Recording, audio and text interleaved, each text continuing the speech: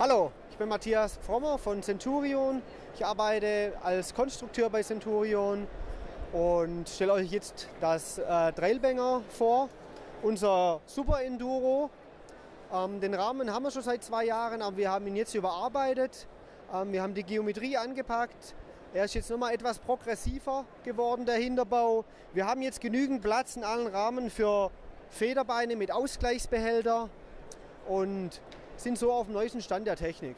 Wir sind jetzt hier bei den äh, Teambikes. Im Vordergrund das Backfire Carbon Team.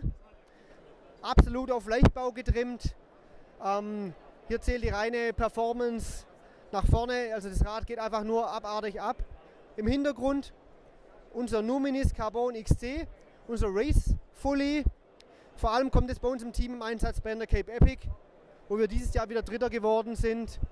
Im Prinzip auch auf Vorab-Performance getrimmt, aber zusätzlich noch mit dem Komfort eines Fullies.